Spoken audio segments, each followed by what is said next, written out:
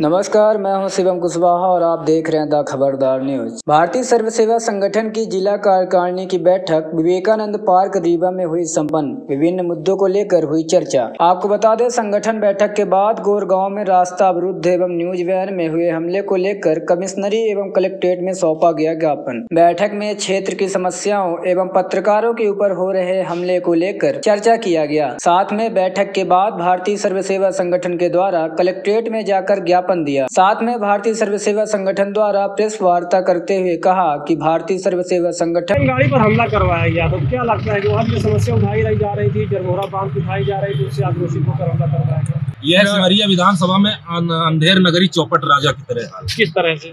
जिस तरह की जब राजा चोर हो जाए तो उस राज्य में अंधेर नगरी चौपट राजा होता है उसी तरह होता है। जिस तरह भारतीय सर्व सेवा संगठन के जिला अध्यक्ष सनी समदरिया जी ने सिमरिया विधानसभा में भ्रष्टाचार को लेकर आवाज़ उठाया था। तो उससे दुखी होकर, क्योंकि भ्रष्टाचार के मामा जी कहते हैं, भ्रष्टाचार के मामा जी है के पी त्रिपाठी जी सिमरिया विधानसभा जो सलगे सरपंच सेक्रेटरी को संरक्षक देते हैं और संरक्षक के साथ में उनको पूरी तरीके से शोषण करते हैं जनता का। प्रशासन की जो योजना है वह ग्रामीण वासियों तक नहीं पहुंचाते। दूसरी बात। किस तरह लड़ाई लड़ रहा है? हमारी संगठन सच्चाई हम माँ भारती के सपूत हैं हम सभी लोग हम लोग किसी भी व्यक्ति विशेष से मतलब नहीं रखते जो गलत करेगा चाहे वो मंत्री हो चाहे वो सांसद हो चाहे वो विधायक हो चाहे प्रशासनिक अमला हो या चाहे थानेदार हो चाहे कोई भी हो हम हर उस व्यक्ति के खिलाफ आवाज़ उठाएँगे। हमारा किसी से व्यक्तिगत दुश्मनी नहीं है। हमारा अगर दुश्मनी है तो भ्रष्टाचार को संरक्षण देने वाले से है। हमारा अगर दुश्मनी है तो भ्रष्टाचार करने वाले से क्योंकि जनता में त्राही त्राही मची हुई है। यहाँ अपनी जेबें भरने में लगे हुए हैं। अगर मीडिया के लोग अभी कुछ दिन पहले हमारे कुछ और मीडिया के भाई आवाज़ उठाए तो उनके ऊपर हमला किया गया। ऐसे देश का चौथा स्तंभ है। अगर देश का चौथा स्तंभ अगर सुरक्षित नहीं है तो आम जनता कैसे सुरक्षित रहेगी? इसलिए भारतीय सर्व सेवा संगठन इसका विरोध करती है। हर जगह भारतीय सर्व सेवा संगठन इसका आवेदन दिया है।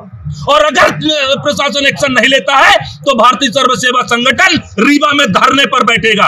पत्रकारों पर हो रहे हमले बर्दाश्त नहीं करेगा, क्योंकि पत्रकार देश का चौथा स्तंभ है। अगर पत्रकार सुरक्षित नहीं है तो आम जनता कैसे सुरक्षित महसूस कर पाएगी? इसलिए प्रशासन न्यूज़ वैन के ऊपर हुए हमले की जाँच करे। साथ में गुड़ विधानसभा के गोरगांव पंचायत में कुछ दबंगों द्वारा सरकारी ज़मीन पर अवैध कब्जा करते हुए ग्रामीण वासियों का रास्ता बंद किए जाने को लेकर भारतीय सर्व सेवा संगठन ज्ञापन देते हुए कहा कि ग्रामीणों के साथ गलत करने वालों के ऊपर प्रशासन कार्रवाई करे एवं रास्ता खुलवाए। अन्यथा भारतीय सर्व सेवा संगठन ग्रामीण वासियों के साथ में धरने पर बैठने के लिए मजबूर होगा। जिला कार्यकारिणी की बैठक में उपस्थित रहे संगठन को फर्जी तरह से मुकदमे में फंसाया गया है।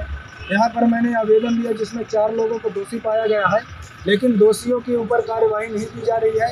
एक है हमारे पाठक जो सिमरिया विधायक के रिलेटिव में आते हैं, उन्हीं को ध्वस्त दिखाकर वो काफ़ी पंचायत में भ्रष्टाचार मचाए हुए हमें क्षेत्र में इस तरह का माहौल बचाए कि जो भी जनता के समक्ष आवाज़ उठाता है तो हमारे जो क्षेत्र के विधायक है या तो उनके ऊपर फर्जी मामला दर्ज करवा देंगे या तो अपने आदमियों द्वारा उनके ऊपर आक्रमण करवा देंगे। क्या चाहते हैं? जिला प्रभारी बालेन्द्र तिवारी एवं जिला कार्यवाहक अध्यक्ष अविनाश शुक्ला जिला कार्यवाहक अध्यक्ष प्रखर पांडे जिला कार्यकारिणी सदस्य एवं संगठन के भूतपूर्व सैनिक इकाई के जिला प्रभारी कमलेश्वर सिंह परिहार जिला कार्यकारिणी सदस्य जिला संगठन प्रचारक रामू सोनी जिला कार्यकारिणी सदस्य एवं जिला उपाध्यक्ष संजीव गुप्ता एवं त्योथर विधानसभा प्रभारी कमल सिंह बघेल, जिला कार्यकारिणी सदस्य एवं सिमरिया विधानसभा प्रभारी अमित गोस्वामी, जिला कार्यकारिणी सदस्य एवं गुड़ विधानसभा अध्यक्ष शिवेश चतुर्वेदी, संगठन के जिला कानूनी सलाहकार एडवोकेट कमलेश्वर प्रसाद तिवारी, जिला कार्यकारिणी सदस्य एवं देवतला विधानसभा अध्यक्ष संदीप तथा B S S Raipur block प्रवक्ता रामायण पटेल, मोनू शाही सहित कई लोग मौजूद रहे।